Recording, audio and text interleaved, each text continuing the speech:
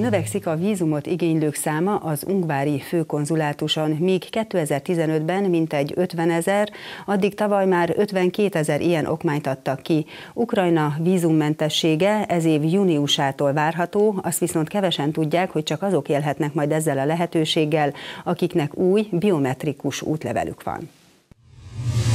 Átlagos délelőtt az ungvári főkonzulátus ügyfélterében itt mindenki vízumot igényel. Az okmányhoz új lenyomatot vesznek és elektronikus fotót is készítenek. Itt a tavalyi évben nőtt a vízumkérelmezők száma. Én 2015-től foglaltam egy állomáshelyet. 2015-ben eh, megközelítőleg 50 ezer vízumot adtunk éves szinten.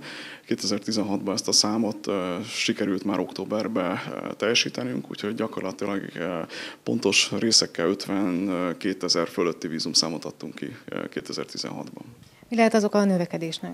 Én azt gondolom egyébként, hogy ukrán állampolgároknak megnőtt az utazási kedve, volt olyan lehetőségük, adott esetben ez többfajta összetevőből tevődik össze. Én azt gondolom, hogy elindult egyfajta olyan mozgástér, kinyitottak lehetőségek, és ezt kihasználták az ukrán állampolgárok. Az Európai Parlament Állampolgári Jogi Bel- és Igazságügyi Bizottsága március elején döntő többséggel szavazta meg az ukrán állampolgárok vízummentes beutazásáról szóló jelentést. A vízummentes beutazás hatályba lépése júniusra várható. Ukrajna gyakorlatilag ugye teljesített minden olyan feltételt, amivel a vízumentességet meg tudjuk adni a részükre.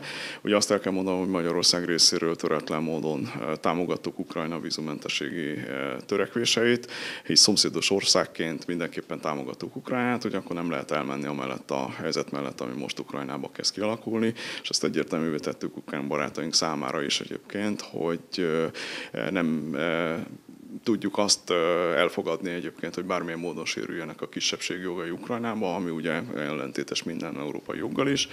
Én azt gondolom, hogy most ugye van már egy olyan publikus dátum, hogy június 11-e, ezt követően várhatóan Ukrajna vízumentességet fog kapni. Ennek természetesen vannak egyéb technikai paraméterei, amit be kell vezetni, és ezt követően válik ez lehetővé, de azt gondolom, hogy ez a dátum most már mindenképpen egy olyan dátum, ami hát fogható közelségben van. A vízummentességhez viszont különleges, vagy legalábbis új útlevélre van szükség. Így van, tehát ugye egy dolgot nem szabad elfelejteni, ez a vízummentesség kifejezetten csak azok számára érvényes, akik biometrikus útlevéllel eh, rendelkeznek, új útlevéllel, ami ugye megfelel az EU szabványoknak, és ugye az a baj, hogy ezt nagyon sokan összekeverik, tehát a vízummentességet követően, tehát most a dátumot elkerülve, mert nem tudom még a technikai részt bevezetését, én azt gondolom, hogy azok, akik biometrikus útlevéllel rendelkeznek, természetesen vízum nélkül léphetnek be a Schengen térségbe. De ugyanakkor ez nem azt jelenti egyébként, hogy a határon azokat a támogató dokumentumokat, legyen az biztosítás, szállásfoglalás, megélhetés, stb. stb. ezt a beléptető szervek nem fogják kérni, és azt ugye tudomások kell venni, hogy a Schengen kódexben is úgy van, hogy a vízum egy ígérvény. Arra vonatkozóan vannak adataik, hogy az ukrán állampolgárok hány százalékának van ilyen biometrikus útlevele? Igen, itt a Schengen tagállamok folyamatosan egyeztetünk, tehát ez teljes mértékig így működik minden országban. A jelenlegi információk alapján megközelítőleg olyan 40% az aránya, a biometrikus útlevélek aránya egyébként, tehát emelkedik. Ön szerint milyen hatása lenne a vízummentességnek, vagy lesz Ukrajnára vagy Magyarországra nézve? Hát ez egy jó kérdés. Tehát én azt gondolom egyébként, hogy ez nagyon fontos. Tehát mindenképpen Ukrajnának vízumentesnek kell lenni, ez ugye nem lehet kérdés. Ugyanakkor azt nem szabad elfelejteni, hogy elindultak különböző határmenti infrastruktúrális beruházások, amik lehetővé teszik egyáltalán az átlépést. A jelenlegi határátkelők fizikai korlátot jelentenek az átlépés során. Én azt gondolom, hogy ezeket mindenképpen a fejlesztések elindultak. Ezeknek a kifutási ideje gyakorlatilag azért 2018-2020 20 eh, környékén lesz, lesz ebben új autópályametszéspont, lesz új határátkelő, mm, fejlesztések gyakorlatilag. Most folyik ugye a Beregsurány asztai átkelő fejlesztése, ezt követően lesz egy új Tisza hídépítés, de azt gondolom, hogy mindenképpen a vízummentesség jelentős forgalom növekedést fog eredményezni mindenképpen, amit a jelenlegi átkelők nem tudnak egyszerűen fizikailag lekezelni. Tehát elengedhetetlenül fontos az infrastruktúra fejlesztése, amihez ugye forrásokra is szükség van. Ez mindenképpen így van.